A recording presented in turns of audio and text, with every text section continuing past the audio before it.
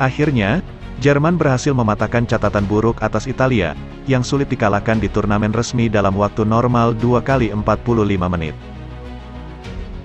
Kemenangan itu mereka dapatkan dalam turnamen UEFA Nations League 2022-2023 di matchday keempat. Bermain di Borussia Park, Mönchengladbach, pelatih Jerman Hansi Flick menurunkan formasi 4-2-3-1. Dengan formasi tersebut, Jerman bermain agresif dan menguasai jalannya pertandingan. Joshua Kimmich membuka gol untuk Jerman pada menit ke-10.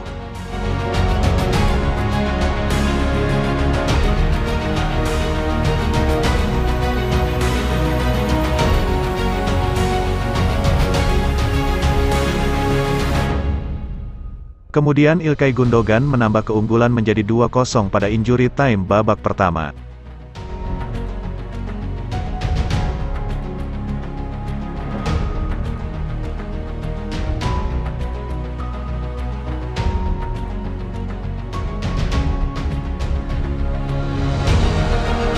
Memasuki babak kedua, di menit ke-6, Thomas Muller kembali menambah keunggulan Jerman menjadi 3-0.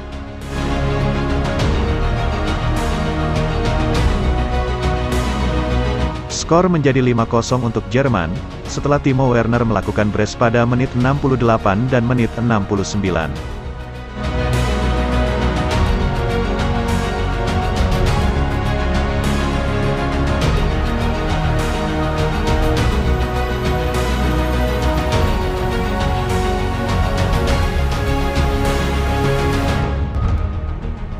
Gol balasan Italia tercipta pada menit ke-78 oleh Genonto dan menit 94 oleh Bastoni, dan kedudukan menjadi 5-2.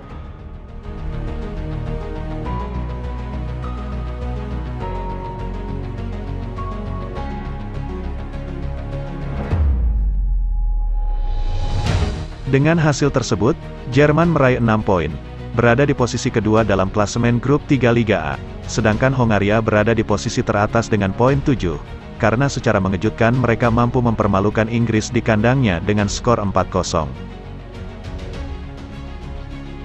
Pertandingan selanjutnya akan berlangsung pada tanggal 24 dan tanggal 27 September tahun 2022.